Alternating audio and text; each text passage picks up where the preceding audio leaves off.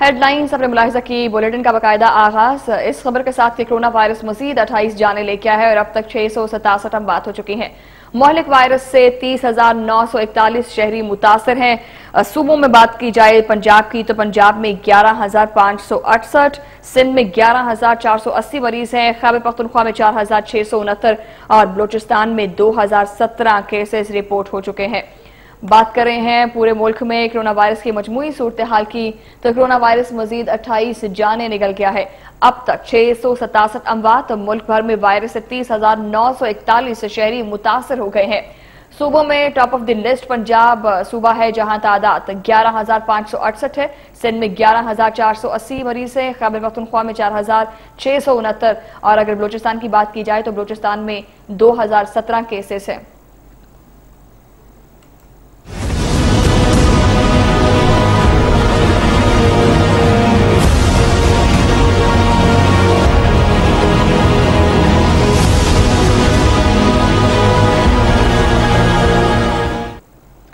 पाकिस्तान में corona virus के मुतासरीन तेज़ी से बढ़ने लगे हैं। मुल्क भर में कोरोना वायरस के तस्दीक शुदा केसेस की तादाद तीस हज़ार नौ सौ इकतालीस तक पहुँच गई।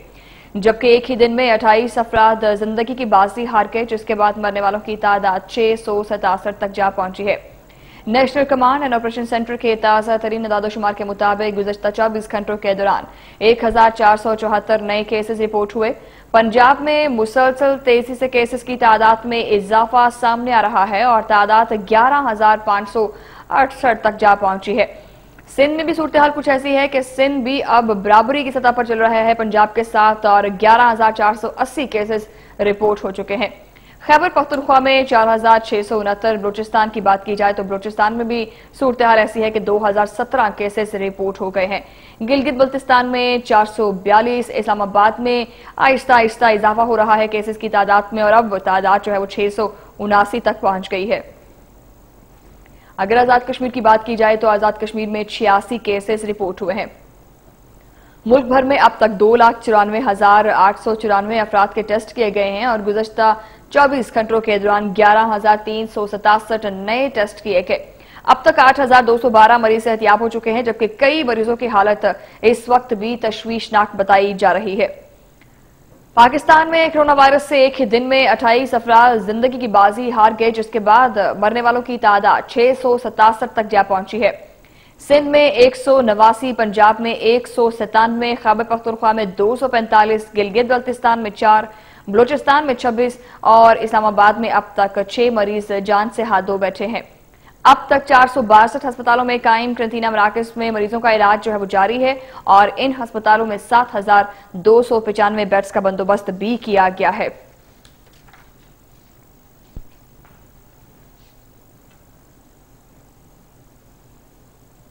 पाक फौज के major Mohammad Asghar corona virus से लड़ते हुए शहीद हो गए। तोरखम बॉर्डर पर लोगों की स्क्रीनिंग की ड्यूटी दे रहे थे। सांस लेने में दुशारी के बाईस सीएमएच पिशावर ले गाया गया और मेजर मोहम्मद असगर वेंटिलेटर पर मुंतकिल होने के बाद दम तोड़ गए। पाक फौज के major Mohammad Asghar corona virus से लड़ते हुए शहीद हो गए तुर्कम बॉर्डर पर लोगों की स्क्रीनिंग की ड्यूटी दे रहे थे कि सांस लेने में दुश्वारी पैदा हुई और उनको सीएमएच अस्पताल जो है वो पिशावर ले जाया गया। मेजर मोहम्मद असगर वेंटिलेटर पर मुंतकिल होने के बाद दम तोड़ गए। पाक फौज के major Mohammad Asghar corona virus के खिलाफ फ्राइज सरंजाम देते हुए शहीद हो गए। वो तुर्खम बॉर्डर पर लोगों की स्क्रीनिंग के फ्राइज सरंजाम दे रहे थे कि पाक फौज के एक और बहादुर सपूत ने कौमी फरीजा सरंजाम देते हुए वतन पर जान निछावर कर दी। Major Mohammad Asghar corona virus के खिलाफ जंग में पेश पेश थे। वो तुर्खम बॉर्डर पर लोगों की स्क्रीनिंग कर रहे थे। दस मई को अचानक सीने में तकलीफ़ महसूस हुई। सांस लेने में दुश्वारी पर सीएमएच पिशावर मुंतकिल किया गया, जहाँ इन्हें वेंटिलेटर पर रखा गया। मगर वो खाल के हकीकी से जा मिले। डीजीआईएसपीआर ने कहा है कि पाकिस्तान हमारा घर है। अफवाज पाकिस्तान फ्रंट लाइन पर लोगों की खिदमत के लिए निकली है। कौम की खिदमत से बड़ा कोई कॉज नहीं है और शहीद अफसर ने कई लोगों को वबा से महफूज रखते हुए भरपूर किरदार अदा किया है। कौम अपने हीरो को सलाम पेश करती है।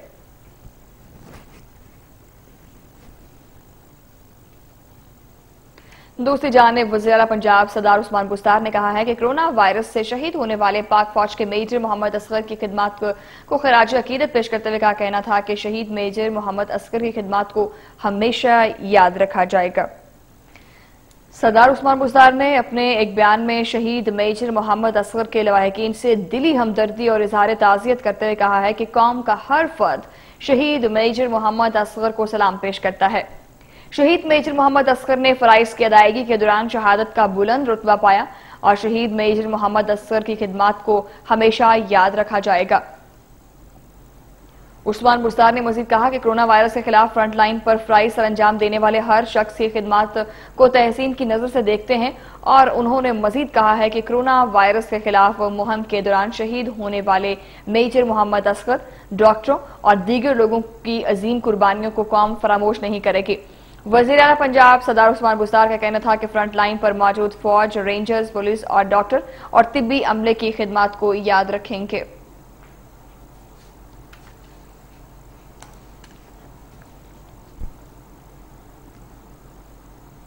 आज़ाद कश्मीर में कोरोना वायरस के सबब पहली हलाकत सामने आ गई है। तर्जुमान आज़ाद कश्मीर डॉक्टर मुस्तफ़ा बशीर के मुताबिक पचासी साल के मरीज़ को आठ मई को अस्पताल में दाखिल किया गया था। डॉक्टर मुस्तफ़ा बशीर ने मजीद बताया है कि डॉक्टर मरीज़ को कोरोना वायरस के बाईस आइसोलेशन वार्ड में दाखिल किया गया।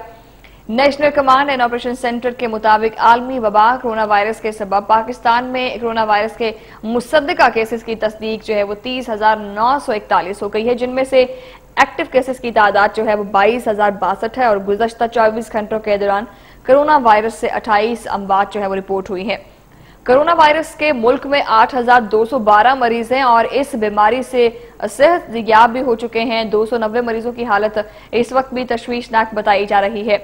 और इस वायरस से अभी तक मुल्क में हुई अमवात की कुल तादाद सतासठ हो चुकी है। एनसीओसी ने बताया है कि पाकिस्तान में अब तक कोरोना वायरस के दो लाख चौरानवे हज़ार आठ सौ चौरानवे टेस्ट किए जा चुके हैं, जबकि गुजशत चौबीस घंटों के मुताबिक बताया गया है कि मुल्क में ग्यारह हज़ार तीन सौ सतासठ कोरोना वायरस के टेस्ट किए गए हैं और एक हज़ार चार सौ चौहत्तर नए केसेस मजीद सामने आ गए हैं।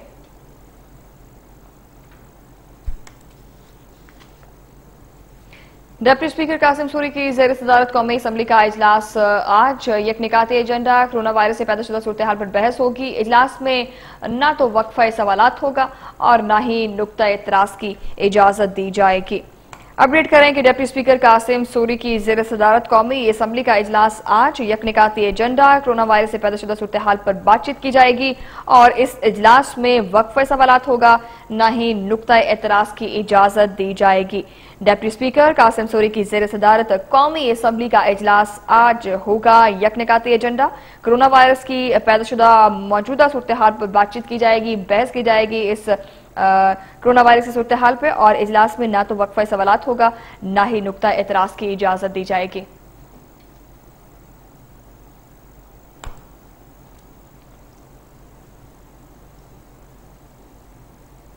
मुताद अरकान पार्लियामेंट और अमले में कोरोना वायरस की तस्दीक हो गई है। डेप्टी चेयरमैन, सेनेट की दोनों इजलास को मुलतवी करने की तजवीज जो है वो दी गई है। डेप्टी चेयरमैन, सेनेट की दोनों इजलास को मुलतवी करने की तजवीज और सलीम मांडवी वाला का कहना है कि मौजूदा सूरत हाल में खतरनाक नतज सामने आने का खदशा है। मुताद अरकान पार्लियामेंट और अमले में कोरोना वायरस की तस्दीक। डिप्टी चेयरमैन सनट की दोनों इजलास मुलतवी करने की तजवीज़। सलीम मांडवी वाला कहते हैं कि मौजूदा सूरत हाल में खतरनाक हद तक नतज सामने आने का खदशा है। पाकिस्तान पीपल्स पार्टी के मरकजी रहनुमा और deputy chairman senate Salim Mandviwala ने कौमी असम्बली और सैनेट के इजलास को मौखर करने की तजवीज़ दे दी है। पाकिस्तान पीपल्स पार्टी के मरकजी रहनुमा सेनेटर सलीम मांडवी वाला ने कहा है कि कोरोना वायरस पार्लियामेंट की राहदारियों में भी पहुँच गया है और उन्होंने कहा है कि अरकिन पार्लियामेंट और अमले में कोरोना वायरस की तशखीस बाईस तशवीश है। उन्होंने ये भी कहा कि अरकिन पार्लियामेंट और अमले में कोरोना वायरस की तशखीस होने का खदशा है। Deputy chairman senate Salim Mandviwala ने कहा है कि कोरोना वायरस केसेस में इजाफे से मुतल खदशात दुरुस्त साबित हो रहे हैं। और मौके अख्तियार किया गया है कि पहले ही खबरदार किया था कि टेस्ट किए बगैर किसी को भी पार्लियामेंट में दाखिल न होने दिया जाए। पीपी के मरकजी रहनुमा सेनेटर सलीम मांडवीवाला ने खबरदार किया है कि मौजूदा सूरत हाल में इजलास बुलाने के खतरनाक हद तक नतज निकल सकते हैं। और उन्होंने तजवीज दी है कि अगर इजलास बुलाना ज़रूरी हो तो इजलास बुलाने में ताखिर की जाए। उनका कहना था कि टेस्ट यकीनी बनाने के बाद ही पार्लियामेंट में दाखिले की इजाज़त जो है वो दी जाए।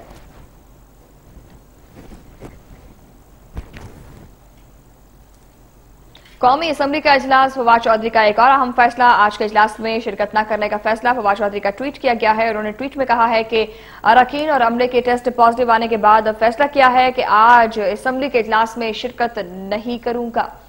पहले दिन से मैं वीडियो लिंक पर सेशन का कर रहा हूँ और अपोजिशन के दबाव में आकर पार्लिमानी कमेटी ने गैर दानिशमंदाना फैसला किया है। मुल्की सियासी क्यादत को गैर ज़रूरी खतरे में डाल दिया है। फवाद चौधरी का कहना है कि कौमी असम्बली का अजलास फवाद चौधरी का अहम फैसला, आज के अजलास में शिरकत न करने का फैसला किया गया है और इस फैसले का इजहार उन्होंने वेबसाइट, ट्विटर पर अपने ट्वीट में कहा है और कहा है कि रकीन और अमले के टेस्ट पॉजिटिव आने के बाद मैंने ये फैसला किया है कि आज के इजलास में शिरकत नहीं करूँगा। पहले दिन से ही मैं वीडियो लिंक पर सेशन कर रहा हूँ और अपोजिशन के दबाव में आकर पार्लिमानी कमेटी ने गैर दानिशमंदाना फैसला किया है। मुल्की सियासी क्यादत को गैर ज़रूरी खतरे में डाल दिया गया है। विफाक वज़ीर science and technology Fawad Chaudhry का कहना है कि पार्लियामेंट के इजलास में शिरकत करने वाले एक हज़ार अफराद रिस्क पर होंगे। मैं तो आज के इजलास में शिरकत ही नहीं करूँगा। समाजी रबते की वेबसाइट, ट्विटर पर अपने एक बयान में विफाक वज़ीर science and technology Fawad Chaudhry ने कहा है कि मैंने इसम्बली इजलास में शिरकत न करने का फैसला किया है। कई अरकान और अमले के टेस्ट पॉजिटिव आने के बाद ये मैंने फैसला किया है और फवाद चौधरी ने यह भी कहा कि पहले दिन से ही मैं वीडियो सेशन पर आ रहा हूँ और वीडियो सेशन के अंदर ही शिरकत करता हूँ, मगर अपोजिशन के दबाव में आकर पार्लिमानी कमेटी ने गैर दानिशमंदाना फैसला किया है और उन्होंने कहा है कि असम्बली इजलास बुलाकर मुल्क सियासी क्यादत को गैर ज़रूरी खतरे में डाल दिया गया है। जबकि यहाँ तो एमएनएस के साथ साथ पार्लियामेंट के अमले में भी कोरोना वायरस का टेस्ट पॉजिटिव आया है। विफाकी वज़ीर का कहना था कि पार्लियामेंट के इजलास में शिरकत करने वाले एक हज़ार अफराद रिस्क पर होंगे। मैं सिर्फ़ आज ही नहीं, आइंदा इजलासों में भी शिरकत नहीं करूँगा।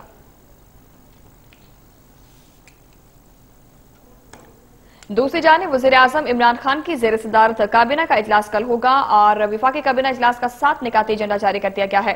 इंतबी असलाह से मुतल रिपोर्ट काबीना इजलास में पेश की जाएगी। विफाकी काबीना मुल्की मुआशी सियासी सूरत हाल पर गौर करेगी। कोरोना वायरस की सूरत हाल पर विफाकी काबीना को तफसीली तौर पर ब्रीफिंग दी जाएगी। अपडेट कर रहे हैं कि वजी अजम इमरान खान की जेर सदारत काबीना का इजलास कल होने जा रहा है और इस इजलास में विफाकी काबीना का सात निकाती एजेंडे पर गौर किया जाएगा और इंतबी असलाह से मुतल रिपोर्ट पेश की जाएगी। विफाकी काबीना मुल्की और माशी सूरत हाल पर गौर करेगी। कोरोना वायरस की सूरत हाल पर काबीना को तफसीली ब्रीफिंग दी जाएगी। वज़ीर आज़म इमरान खान की जेर सदारत। काबीना का इजलास कल होगा। विफाकी काबीना इजलास का सात निकाती एजेंडा जो है वो जारी। इंतबी असलाह से मुतल रिपोर्ट जो है वो काबीना इजलास में पेश की जाएगी और विफाकी काबीना मुल्की मुआशी और सियासी सूरत हाल पर भी गौर करेगी। इसके साथ साथ मुल्क में जो है वो कोरोना वायरस की मौजूदा सूरत हाल पर विफाकी काबीना को तफसीली तौर पर ब्रीफ किया जाएगा। अपडेट कर कि वजी अजम इमरान खान की जेर सदारत विफाकी काबीना का इजलास जो है वो कल बुलाया गया है।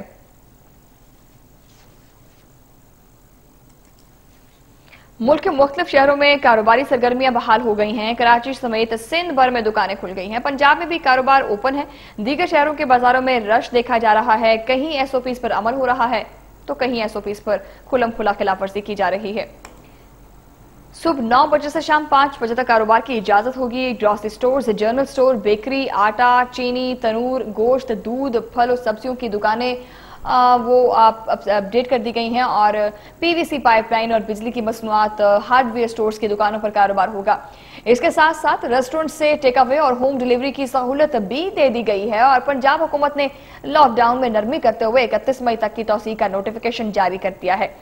लेकिन हफ़्ते में चार रोज, यानी पीर, मंगल, बुध और जुमेरात को कारोबार किया जाएगा। लेकिन दूसरी जानब जुमा हफ़्ता और एतवार यानी तीन रोज शटर डाउन होगा। और डॉक खाना कोरियर सर्विस और पूरा हफ़्ता ही काम करेंगे। शहरियों ने हुकूमत के नए हुक्म पर मिले जुले रद्दमल का इजहार किया है। उधर इंतजामिया और पुलिस भी हुकूमती एसओपीस पर अमल दरामद करवाने के लिए पूरी तरह तैयार है। एसओपीस पर ऑपरेशन फैसल शहजाद का कहना है कि ताजिर बरादरी कारोबार ज़रूर करे, लेकिन एहतियाती तदाबीर को भी अपनाया जाए और सख्ती से उन पर अमल किया जाए। सिंध हुकूमत के हुक्म पर कराची में भी लॉकडाउन में नरमी कर दी गई है और शहर की मार्केटें भी खुल गई हैं। कोरोना वायरस से बचाव के लिए एहतियाती इकदाम अपनाते हुए दुकानदारों ने 50 रोज बाद दुकानों के शटर उठा दिए और महकमा दाखिला सिंह के नोटिफिकेशन के मुताबिक सुबह छह के बाद आहिस्ता आहिस्ता मार्केटें खुलना शुरू हो गई हैं। सदर तारिक रोड, जैनब मार्केट, हैदरी और लियाकताबाद समेत दीगर मार्केटों में कारोबारी सरगर्मियाँ बहाल हो गई हैं। इसके अलावा छोटी मार्केट्स भी खुल गई हैं। दुकानदार भी कोरोना वायरस बचाव के इकदाम पर अमल करते हुए दिखाई देते हैं और सिंध हुकूमत का कहना है कि कारोबार खुलने की इजाज़त मशरूत तौर पर दी गई है। दुकानदार और खरीदार हुकूमती एसओपीज पर अमल करें ताकि कोरोना वायरस से बचा जा सके। खैबर पख्तनख्वा में भी छोटे बाज़ार खुले हैं। पिशावर में जीटी रोड बाज़ार, सदर बाज़ार समेत दीगर मार्केट्स में कारोबार खुल गया है, जहाँ गहमा गहमी अरूज पर रही। कोयटा समेत बलोचिस्तान में भी बाजारों में कारोबारी सरगर्मियाँ जो है वो शुरू हो गई हैं। इसके साथ साथ कहीं पर भी एसओपीस पर अमल दरामद होता नज़र नहीं आ रहा।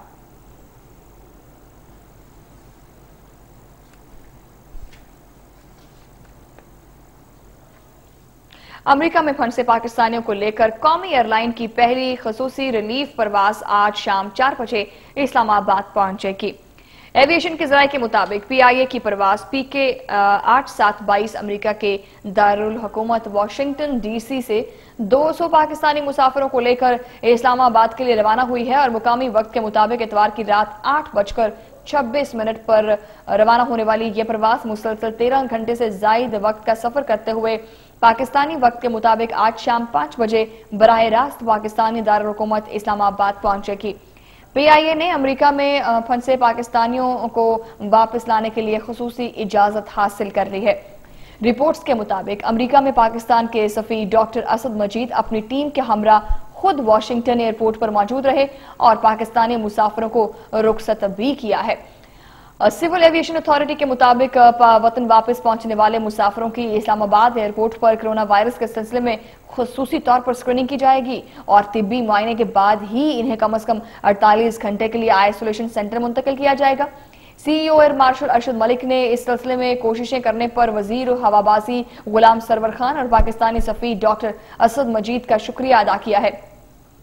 उनका कहना है कि तमाम कौमी इदारे मुकम्मल यकजहती और यकसोई से मुल्क की खातिर इस ऑपरेशन में हिस्सा ले रहे हैं।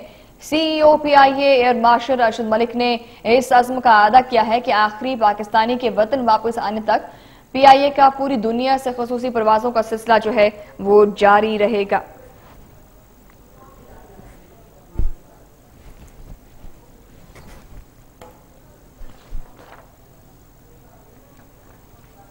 दूसरी जानब, मोहित यूसुफ कहते हैं कि तारकिन वतन को महफूज तरीके से जो है वो वतन वापस लाया जा रहा है। बैरून मुल्क से आने वालों की टेस्टिंग भी की जा रही है और सूबों की मुशावरत से पॉलिसी में तब्दीली लाई है। सूबों को हिदायत कर दी गई है कि 24 घंटे के अंदर रिज़ल्ट आ जाएगा। और घर में करंतना की इजाज़त दी जाएगी। सियालकोट एयरपोर्ट को रवा हफ़्ते ऑपरेशनल करेंगे और ईद से पहले ज़्यादा से ज़्यादा पाकिस्तानियों को वापस लाएँगे। हमारी नई पॉलिसी से टेस्टिंग लेबोरेटरीज पर बोझ बढ़ जाएगा, लेकिन बीस हज़ार पाकिस्तानियों को वापस लाएँगे। मुआवना खसूसी मोहद यूसुफ ने मजीद कहा है कि बाईस ममालिक से पाकिस्तानियों को वतन वापस लाया जाएगा। खलीजी ममालिक में पाकिस्तानियों की तादाद ज़्यादा है।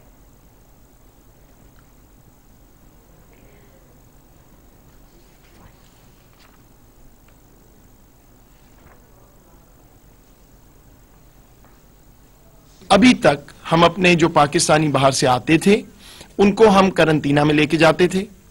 48 घंटे वो वहाँ रहते थे। उसके बाद उनका टेस्ट होता था और फिर उनको जो नेगेटिव ट्रीट करते थे, जैसे हमारे हेल्थ एक्सपर्ट्स डिसाइड करते थे।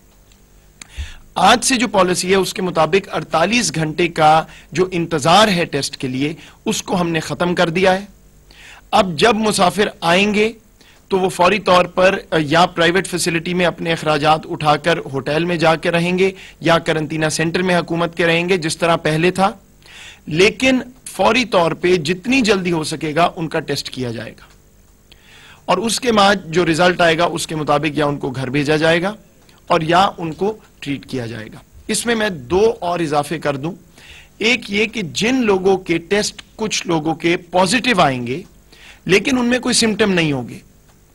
जिनकी तबीयत जो है वो कुछ खराब नहीं होगी, वो भी अब सूबों को इख्तियार है कि वो अपनी पॉलिसी के तहत उनको होम क्वारंटीन, यानी सेल्फ क्वारंटीन अपने घर में चौदह दिन आइसोलेट करने के लिए भेज दें, जिससे उनकी भी ये सहूलत हो जाएगी कि उनको चौदह दिन करंतना सेंटर में नहीं या अस्पताल में नहीं रहना पड़ेगा। आगे पर अपडेट करें कि सबक भारतीय मेजर गोरिया आर्या का खुलम खुला, बलोचिस्तान में नजरअंदाजी का एतराफ किया गया है। बलोचिस्तान को तोड़ने की धमकियाँ दी गई हैं और सेनेटर सरफराज बुगटी और दीगर बलोच रहनुमाओं का भारत को मुँह तोड़ जवाब दिया गया है। कहते हैं, हम पाकिस्तान के साथ थे, हैं और रहेंगे। बलोच हुकूमत पाकिस्तान से बेपनाह मोहब्बत करती है और ये मोहब्बत गैरतमंद बलोच की रगों में खून की तरह दौड़ रही है। इस मोहब्बत को दुनिया की कोई ताकत खत्म नहीं कर सकती, कहा कि मरी बुकटी और मेंगल, तीनों कौमें मकबूजा कश्मीर को फतह करके कश्मीर को पाकिस्तान का हिस्सा बनाएँगी। ये आजकल एक वीडियो वायरल की है मेजर मेजर गौरव की। तो वो कहता है कि बुकटियों के नंबर है, मैं डेरा बुकटी में बैठा हूँ, किस बुकटी का नंबर है तुम्हारे पास और कोई बुकटी तुम्हारा नंबर रखेगा क्यों? बुकटी जितनी के बुकटी कौम मोहब्बत करती है पाकिस्तान के साथ और सारा बुकटी कौम जो है वो इस बात पे बड़ा खफा है, इस बात पे बड़ा उनके अंदर गम गुस्सा है। कि तुम जैसा आदमी एक टीवी पे बैठ के ये कहता है कि तुम्हारे पास बुकटियों के नंबर है बुकटी तुम्हें घास नहीं डालते बुकटी तुम्हें मुँह नहीं लगाते, और तुम कह रहे हो बुकटियों के नंबर है तुम्हारे पास, बताओ किस बुकटी का नंबर है, नाम लो अगर तुम्हारे पास किसी बुकटी का नंबर है। मैं समझता हूँ कि तमाम बुकटी हो या बाकी बलोच हो, वो बलोचिस्तान के साथ, उनकी पाकिस्तान के साथ एक लाजम मलजूम अमल है। पाकिस्तान इसी बाबरकत महीने में वजूद में आया था, और पाकिस्तान के साथ बलोच ने बखुशी इलाहाक किया था। मैं इंडिया वालों को बताना चाहता हूँ कि आप लोगों के पास जो आज आप लोगों ने जो प्रोपगंडा शुरू किया हुआ है कि बलोच हमारे साथ हैं। आपने बुकटी मरी और मेंगल का नाम लिया। सवाल पैदा नहीं होता कि कोई बुकटी या कोई मरी या मेंगल। ये ऐसे तीनों गैरतमंद कौमें हैं जिन, जितनी आपकी कोई सोच है। सवाल पैदा नहीं होता कि कोई आप लोगों का साथ दे, कोई साथ नहीं देगा। हम अपने मुल्क के साथ हैं। पाकिस्तान के साथ हैं, थे और रहेंगे। दूसरा आपने बात की इसकी कश्मीर की।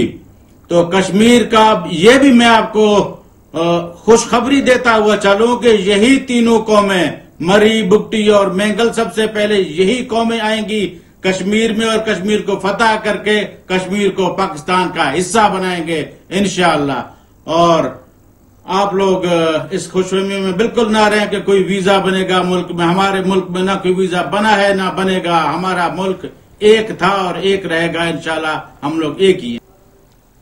अफसोसनाक खबर यह है कि पिशावर में सड़क किनारे नस बारूदी मवाद के धमाके में दो ट्रैफ़िक पुलिस एहलकार समेत तीन अफराद जख्मी हो गए हैं। पुलिस के मुताबिक पिशावर के इलाके अशरफ रोड पर देसी साख्ता बारूदी मवाद का धमाका हुआ, जिसके नतीजे में दो ट्रैफ़िक एहलकार और एक दुकानदार जख्मी हुआ। जख्मियों को फौरी तौर पर लेडी रीडिंग अस्पताल मुंतकिल किया गया है, जहाँ उनकी हालत खतरे से बाहर है। बीडीयू के मुताबिक धमाके में दो किलोग्राम देसी साख्ता बारूद इस्तेमाल किया गया। धमाके में रिमोट कंट्रोल के ज़रिए किया गया है और सिक्योरिटी इदारों ने इलाके को घेरे में लेकर सील कर दिया है। धमाके से तीन मोटरसाइकिलों को नुकसान पहुँचा है।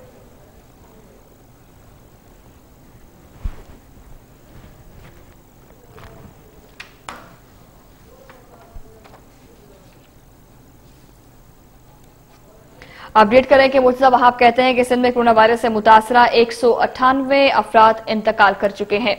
इल्ज़ाम लगाया जाता है कि सिंध हुकूमत के फैसले कराची दुश्मनी पर मबनी है। पीटीआई रहनुमा फिर लसानियत को फरोग देने की कोशिश कर रहे हैं। मुर्तजा वहाब कहते हैं कि मुश्किल की घड़ी में पीटीआई वाले होश के नाखून लें और पीटीआई रहनुमा कहते हैं कि कोरोना वायरस केसेस की तादाद गलत बताई जा रही है। आपको बताएँ कि मुर्तजा वहाब का कहना है कि सिंध में कोरोना वायरस से मुतासरा एक सौ अट्ठानवे अफराद जो है वो इंतकाल कर गए हैं। इल्ज़ाम लगाया जाता है हमारे ऊपर के सिंध हुकूमत के फैसले कराची दुश्मनी पर मबनी है।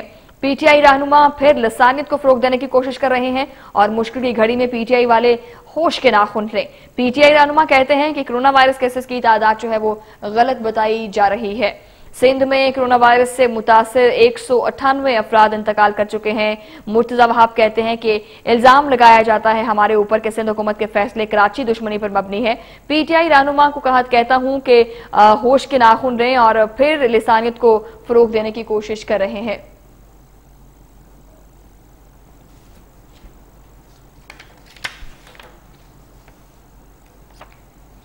वज़ीर अजम इमरान खान की जेर सदारत अहम इजलास तलब कर लिया गया है और कोरोना वायरस की मौजूदा सूरत हाल पर ब्रीफिंग दी जाएगी।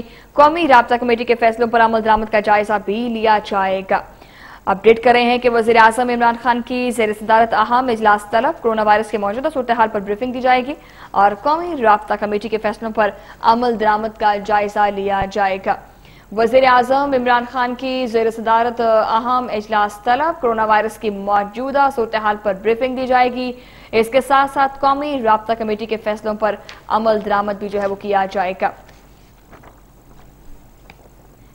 वज़ीर आज़म इमरान खान की जेर सदारत अहम इजलास तलब। कोरोना वायरस की मौजूदा सूरत हाल पर ब्रीफिंग दी जाएगी। कौमी रबता कमेटी के फैसलों पर अमल दरामद का जायजा भी लिया जाएगा।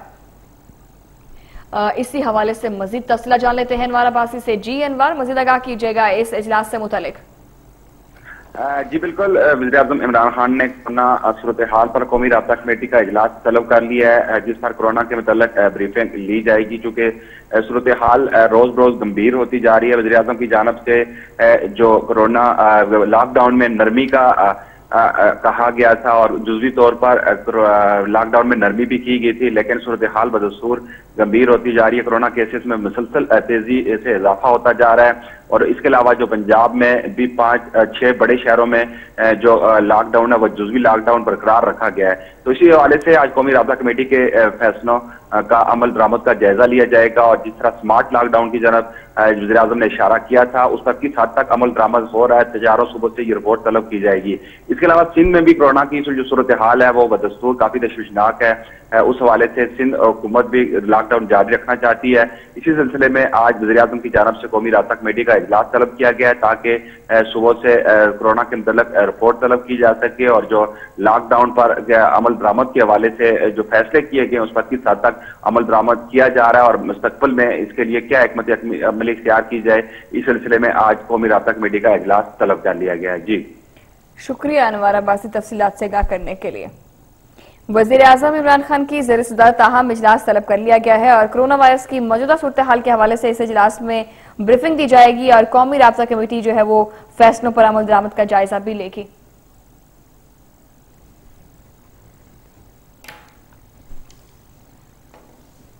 दूसरी जानब, काफली के सरबराह चौधरी शुजात हुसैन और परवेज इलाही की नैब के खिलाफ दरख्वास्त पर समाप्त करने वाला बेंच ही टूट गया है और बेंच के रुकन जस्टिस फारूक हैदर ने समाज से माजरत कर ली है। सदर लाहौर हाईकोर्ट बार ने जस्टिस फारूक हैदर की जानब से केस की समाप्त करने से एतराज़ उठाया था।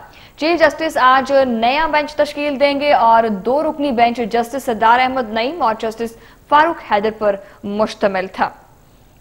गुजश्ता समात पर सदर Lahore high court bar Tahir Nasirullah Waraich ने बेंच के रुकन जस्टिस फारूक हैदर की जानब से चौधरी बरदरान की दरख्वास्त पर समात करने का एतराज़ उठाया और कहा कि जस्टिस फारूक हैदर चौधरी बरदरान के मुताद केसेस में पेश होते रहे हैं। लिहाजा जस्टिस फारूक हैदर समात न करें और इस केस की समात से माजत कर ली और कहा है कि वो इस केस की समात नहीं कर सकते। सो लिहाजा बेंच के सरबराह, जस्टिस सरदार अहमद नई ने नया बेंच तश्कील देने के लिए फ़ाइल चीफ जस्टिस को अरसाल कर दी है और चीफ जस्टिस कासिम खान आज नया बेंच तश्कील देंगे, जिसके बाद दरख्वास्त पर समाप्त होगी।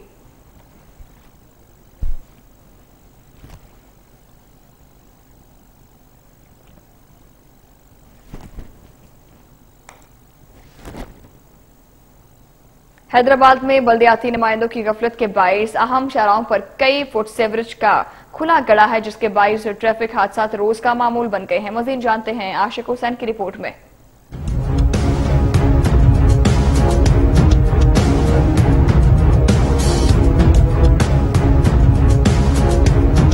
हैदराबाद में बल्दियाती नुमाइंदों की गफलत के बायस अहम शारा पिंजरापोल रोड पर कई फीट सीवरेज का खुला गड़ा है। जिसके बायस ट्रैफ़िक हादसा रोज का मामूल बन गए हैं। कोई भी नहीं आता देखने के लिए काफ़ी टाइम से खुला पड़ा है ये। जब भी लोग आते हैं लेने के लिए यहाँ पर देखते हैं चले जाते हैं यहाँ पर। काफ़ी टाइम हो गया पानी भर जाता है लाइन चौक थे पूरा नाला भर जाता है वहाँ पर। बच्चे कई दफ़ा नाले में गिर जाते हैं। नहीं नहीं सही कचरा ही नहीं उठता है तो गड़ी की क्या करेंगे? देखो कितने एक्सीडेंट है गाड़ियाँ गिर गई इसके अंदर रात में। कोई देखने वाला नहीं है मेयर क्या करेगा? मेयर तो आता ही नहीं है इधर जागता ही नहीं है। बोर्डिंग होगी जब आएँगे इधर। बोटिंग के लिए आएँगे बस। इसमें आए दिन क्या होता है जब लाइट नहीं होती है तो अक्सर कोई गाड़ियाँ गिर जाती हैं कोई बच्चे गिर जाते हैं। आए दिन परेशानी का बाइस और ये ट्रैफ़िक चल रहा होता है तो उसमें अक्सर रुकावट होती है। ना आदमी पैदल वाला निकल सकता है ना इस टाइम जो है देखो आप रश का आलम है और देखो गाड़ियाँ कहाँ चल रही हैं। इलाका मकीनों का कहना है कि वो बल्दियाती मुंतब नुमाइंदों मेयर और एमपीए को भी शिकायत कर चुके हैं मगर उन्होंने मसाइल से चशमपोशी अख्तियार कर रखी है। ये मंजूर शुदा है। और मेयर से मेरा, मेरे पास इसका रिकॉर्ड है मौजूद है। मेयर ने कहा था कि जी, एक हफ़्ते के अंदर बनवा देंगे ये महल्ले में महल्ले में पानी घरों में भरा हुआ है, आए, इजाज़त दी। और ये तुड़वा के आज तकरीबन पाँच महीने हो गए। ये मेयर इस काबिल नहीं है, इस हैदराबाद शहर को जो है ना, वो चला सके मुसलत है। नाजिम भी ऐसे ही मिले, ये भी ऐसे ही मिले। तू मेरी मत के मैं तेरी नहीं कहूँ। शहरियों ने मुतल हुकाम से मुतालबा किया है कि सीवरेज के खुले गड़े की मरम्मत कराने के लिए इकदाम किए जाए। कैमरा टीम के साथ आशिक हुसैन रोज न्यूज़ हैदराबाद। पूरी दुनिया कोरोना वायरस की लपेट में है और दुनिया भर में मरने वालों की तादाद दो लाख तिरासी हज़ार आठ सौ अड़सठ हो गई है। ब्राज़ील में मजीद चार सौ सतासठ बरतानिया में दो सौ अड़सठ, इटली में एक सौ पैंसठ हलाकतें हो गई हैं। स्पेन में मजीद एक सौ तैंतालीस, भारत में एक सौ ग्यारह और ईरान में इक्यावन अमवात और अमरीका में सूरत हाल संभलने लगी है और कोरोना वायरस हलाकतों में बतदरीज कमी हो गई है। मजीद सात सौ पचास अमवात और तादाद अस्सी हज़ार सात सौ सतासी तक जा पहुँची। इसके साथ साथ तेरह लाख सतासठ हज़ार से जायद शहरी मोहलिक वायरस से मुतासर भी हैं।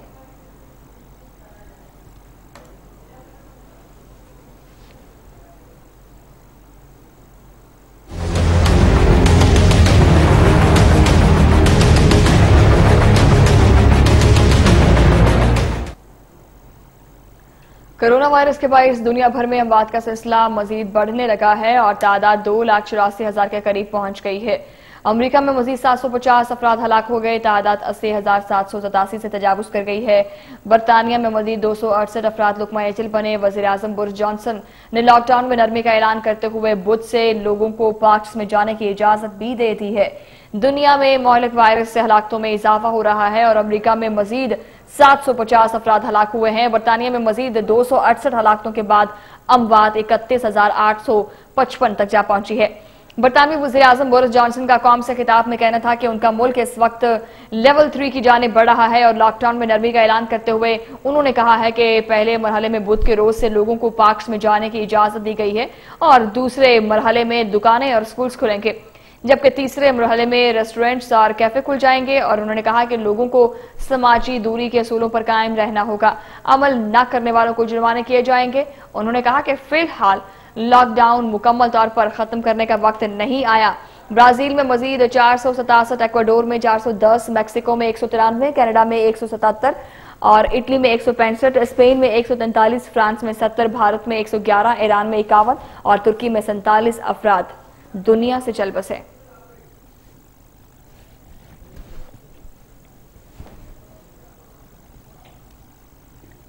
रोज न्यूज़ में यहाँ वक्त हुआ, एक ब्रेक का हमारे साथ रहिए। रोज न्यूज़ के ऑफिशियल यूट्यूब चैनल को सब्सक्राइब करें, बेल आइकन को टच करें, ताकि ताज़ा तरीन खबरें आप तक पहुँचती रहें।